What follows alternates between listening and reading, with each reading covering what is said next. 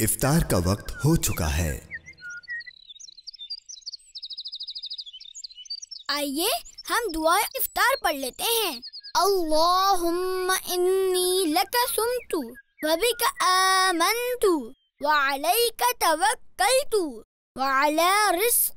अफ्तरतु।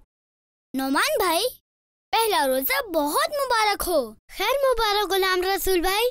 तो आपका पहला रोजा कैसा गुजरा? रोज़े में तो बहुत भूख और प्यास लगती है ना?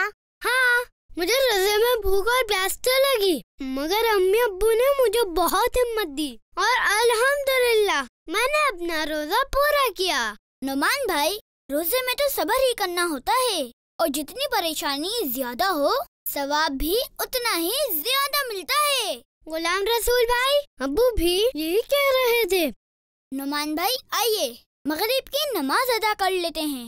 जी ज़रूर। तो चलिए नमाज़ बा जमात अदा करते हैं।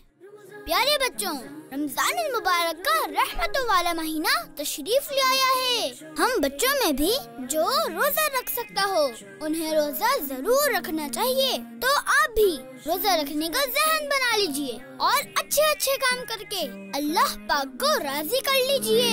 रमज़ान रमज़ान। रमज़ान रमज़ान रमज़ान